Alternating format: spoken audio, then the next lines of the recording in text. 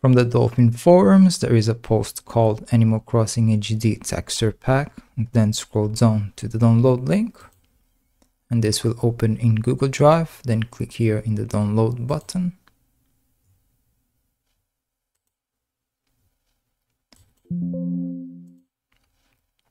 Then go to Dolphin.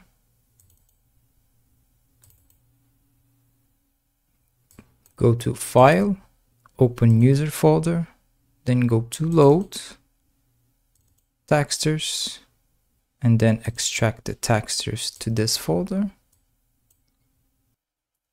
Rename this folder to GAF, or re rename this folder to GAE, G-A-E, if you're if you're using the uh, Japanese version.